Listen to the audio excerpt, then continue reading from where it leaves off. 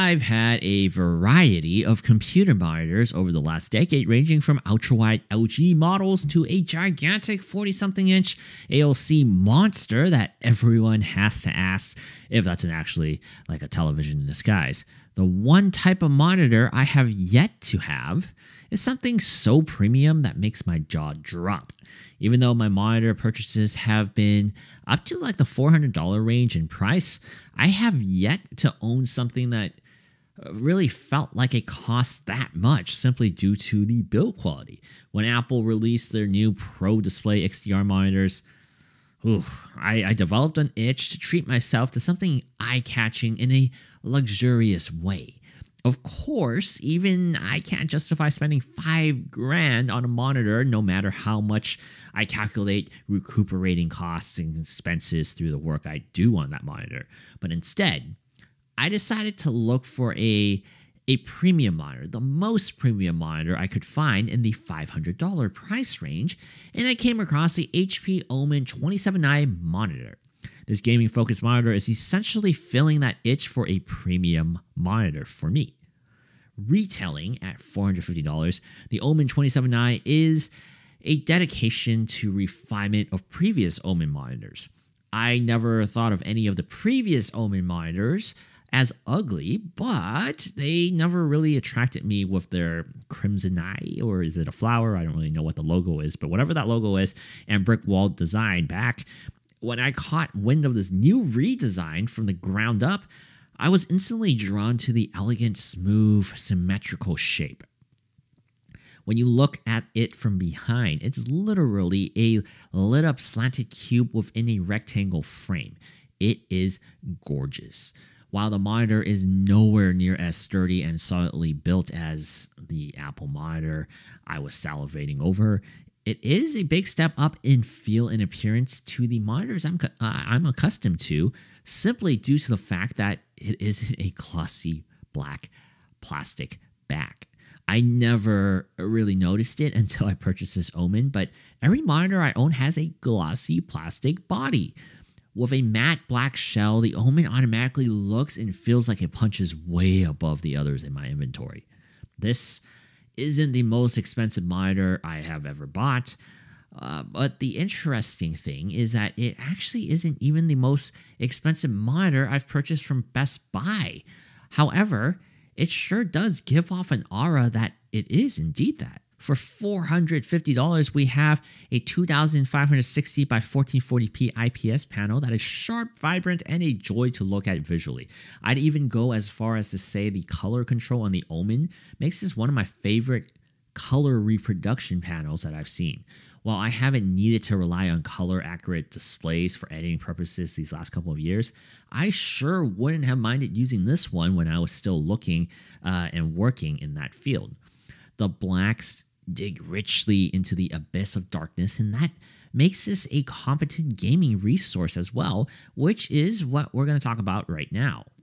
The reason this Omen might be the perfect gaming monitor for most people is because not only is it quad HD and it has 1 millisecond response time that can push up to 165 hertz refresh rate.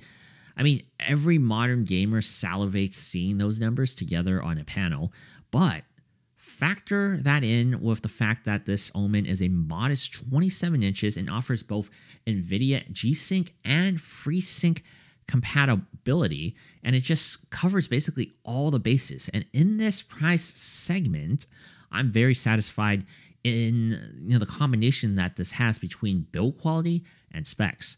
I'm also quite smitten with the stand the Omen comes on it's chamfered beautifully to honor like that minimalistic design language that matches the overall symmetry of the entire product.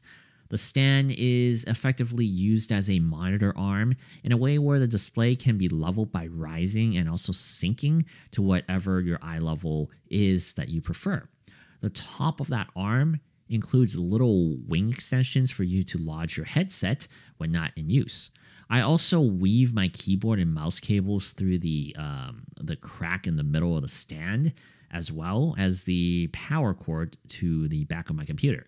It kind of keeps the setup organized, albeit making the clean look a little more of like an eyesore, but the base of the stand is also potentially a hindrance to some users depending on your desk, as it does extend in a diamond shape towards your body. This means it does take up more desk space than a lot of other basic monitor stands.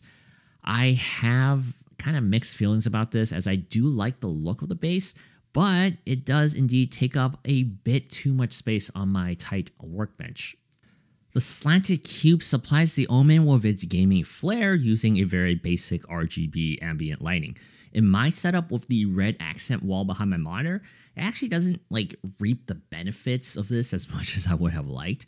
There's also a kind of like a small RGB light directly under the frame where the Omen text is. It shoots off like a mood lighting color onto the base of the stand, and it's a nice aesthetic touch that, once again, I do resonate with more than the previous generation of Omen monitors. You can plug this into your PC using either a DisplayPort or an HDMI slot. I have this paired with my CyberPower Gamer Supreme Tower, which I did review on the channel. Uh, so I'll have a link above if you want to check that out. And while I play games at ultra settings for 1440p gameplay, I feel like I'm not utilizing this monitor to its fullest. And what I mean by that is I, I rarely, if ever, touch 144 hertz, as I definitely am an old man who gets a headache following the quick motion of many of these new games. I have no idea how kids do it nowadays on Fortnite and other first person shooter games. But, you know, it's wasted on these eyes. I, it's still, it's nice though to be able to brag about the specs of your monitor even if you don't push it to its limits all the time. This monitor really does check off basically all the boxes I was looking for in not only a set piece, but a high quality spec sheet list. The only thing glaringly missing from the Omen 27i are onboard speakers and HDR functionality.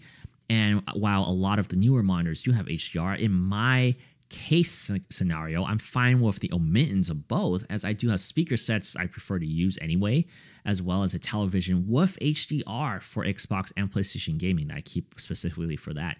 And I think HP did hit it out of the ballpark with this one, and with the recurring price drops you often see on this monitor, this should be on the short list of many competitive gamers and also people looking just for a really nice premium